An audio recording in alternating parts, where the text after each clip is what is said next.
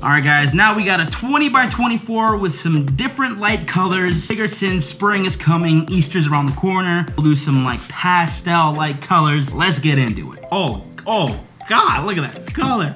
Oh, it looks so good. Oh, baby. Oh, let's go. Ooh. Me gusta. Me gusta. Oh, baby. Oh, baby. That's gonna look so good. Ooh, here we go.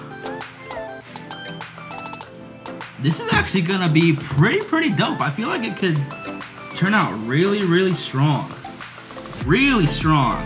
Get a little bit more white in here. I feel like we need a, some dark color, but we'll see what happens.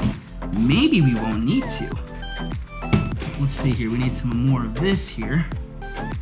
Ah, I see what's going on. Let's just see what happens if we, again, let it droop.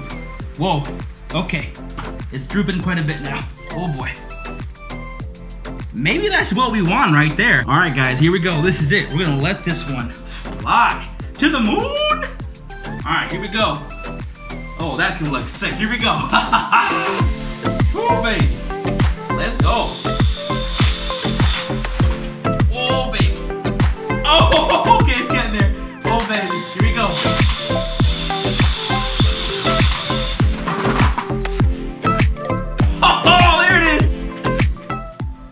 There it is, the final piece, 20 by 24. Looks like a light galaxy. And I'm not complaining, dude. I, I dig that. That's so good. So good.